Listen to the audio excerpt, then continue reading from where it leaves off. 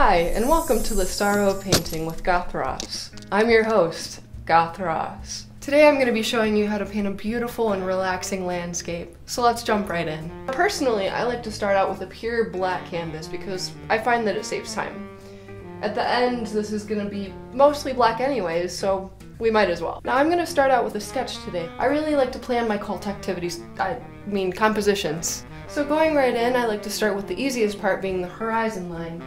Just like a cliff you might push your enemies off of. Maybe a spot for a relaxing pond or bog or swamp or quicksand, who knows. Now once we have that, I think we're all set to start painting. Now in choosing your color palette for the sky, you have a lot of options.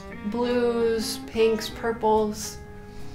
Now once you've chosen this palette, I like to use a method where I apply the paint tube directly to the canvas. Now that we have this base layer established, I like to go ahead and add in some black paint to blend in. I buy it in bulk because I find that 16 ounces just doesn't always cut it. While we're still up in the sky, let's paint some sad little storm clouds. Now that we have a nice fog rolling in, let's focus on our lake.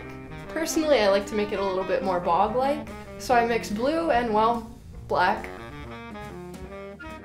If I'm in a hurry and I need to touch up my nails, one of my favorite time-saving hacks is to put my hand directly on the canvas and just paint. I paint grass around my box to really give that overgrown appearance. Now I've realized that on this side of the canvas, some of the red from the sky has started dripping down where the grass should be.